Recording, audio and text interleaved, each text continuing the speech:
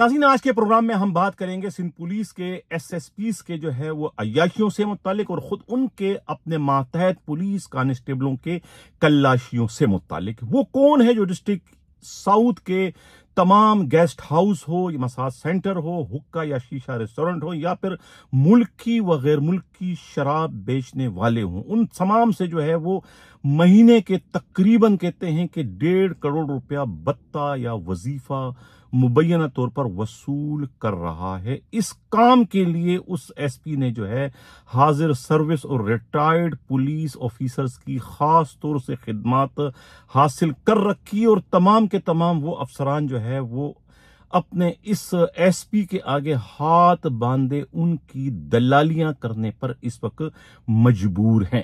یہ S P کے بارے میں معلوم ہوا ہے کہ وہ خود کو پولیس کے موجودہ جو سربراہ ہے ان کے قریبی یعنی کہ سسرالی رشتہ دار بھی ظاہر کر رہے ہیں۔ کراچی سے ہمارے نمائندہ خصوصی دیوان جی نے جو ایک مفصل رپورٹ بھجوائی ہے، ان کی رپورٹ کے مطابق ساؤتھ ڈسٹرکٹ کے S S P Sajid Amir Sadozai جو ہے، وہ اصول پرست ہیں، ایماندار ہیں، دیانتدار ہیں۔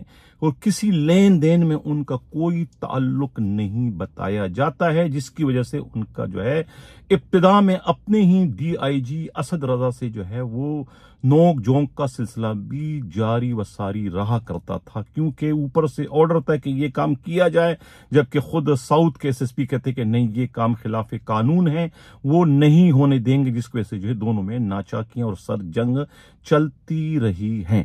بعد میں پتا چلا کہ خود ایس ایس پی ساؤتھ نے نہ جانے کیا سوچ کر یا کس دباؤ میں اپنے تمام تر اختیارات جو ہے، S P Clifton, doctor Uzair Ahmed Memon کے سپرد کر دیے۔ جس کے بعد اب یہ اطلاع ملی ہے کہ جب سے جو ہے، ڈاکٹر عزیر احمد میمن کو یہ اختیارات ملے ہیں، اس کے بعد سے جو ہے ساؤتھ ڈسٹرکٹ میں پینسٹھ کے قریب کہتے ہیں کہ گیسٹ ہاؤسز ہیں۔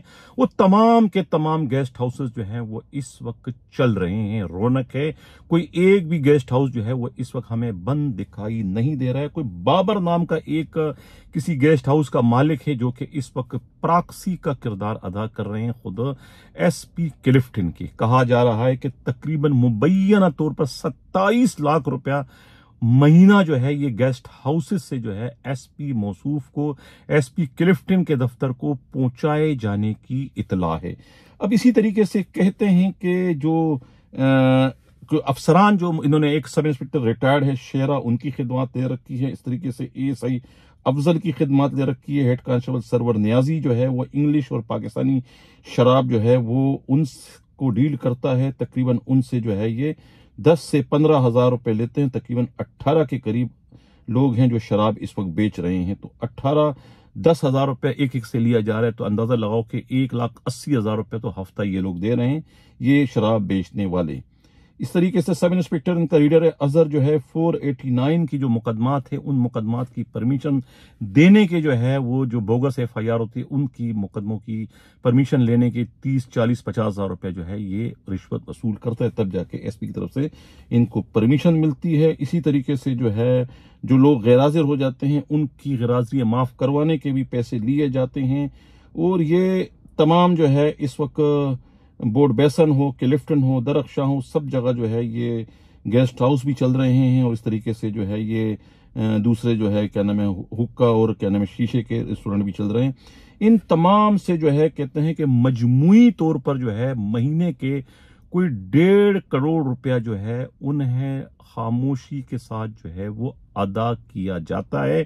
ہیڈ محرروں کی پوسٹنگ ہو، کانسٹیبلوں کی پوسٹنگ ہو یا کسی کی بحالی کا معاملہ ہو، اس کے پیسے الگ ہیں۔ تو یہ تو ہیں ناظرین ایس ایس پی یا ایس پی جو ہیں، یہ پی ایس پی افسران ہیں، یہ ان کی جو ہے عیاشیوں سے متعلق ہے۔ اب اسی ڈسٹرکٹ میں ایسے بھی کانسٹیبل ہیں جو فاقوں میں مبتلا ہیں۔ وہ کانسٹیبل جن کی تنخواہیں بند کی ہوئی ہیں، وہ کانسٹیبل جو صرف اور صرف رسک حلال پر انحصار کرتے ہیں ہیں، تنخواہوں پر ان کا گھر چلتا ہے۔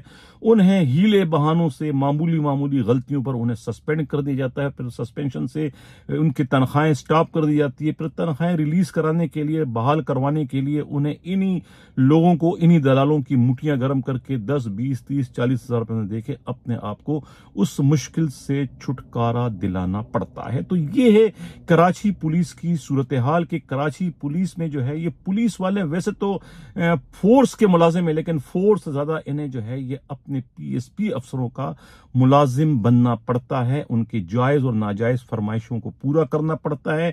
ان کی خواہشات کی تکمیل کرنا ہوتی ہے۔ ان کی انا کی تسکین کے لیے انہیں کچھ بھی کرنا پڑتا ہے۔ اگر کوئی پولیس والا کچھ نہ کرے تو پھر انہیں جو ہے، ان کی جانب سے جو ہے، بدترین سزاؤں کا سامنا کرنا پڑتا ہے۔ یہ کہنا ہے خود پولیسی کے انتہائی انتہائی قابل اعتماد ذرائع کا۔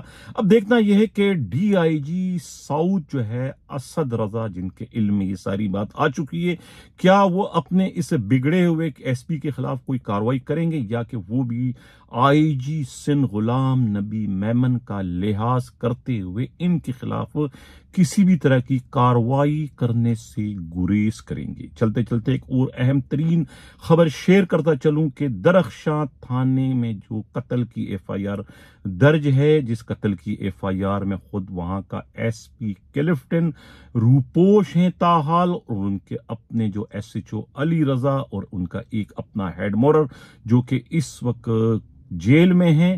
ان تمام کی خلاصی کا وقت آ پہنچا ہے۔ کہا یہ جا رہا ہے کہ مقتول کے ورثہ سے دو کروڑ میں بات چیت ہو چکی ہے راضی نامہ ہو چکا ہے، پیپر تیار ہو چکے ہیں، سٹامپ پیپر پر سائن ہو چکے ہیں، انگوٹھے لگ چکے ہیں۔ کسی بھی وقت جو ہے وہ پیپر جو ہے وہ ہائی کورٹ یا عدالتوں میں جو ہے وہ جمع کرا دیے جائیں گے، جس کے بعد ان کی رہائی کا باقاعدہ پروانہ جاری کیا جا سکتا ہے۔ یہ بہت بڑی بریکنگ نیوز ہے۔ کرفٹن کے اس قتل کیس میں، جس میں ایس پی روپوش ہے اور خود نہیں کیا نام ہے، ان کا نام میں بھول جاتا ہوں، ایس پی کلفٹن کا، وہ روپوش ہیں اور ان کے ایس ایچ او اور ہیڈ مورر دونوں کے دونوں اس وقت جیل میں ہیں۔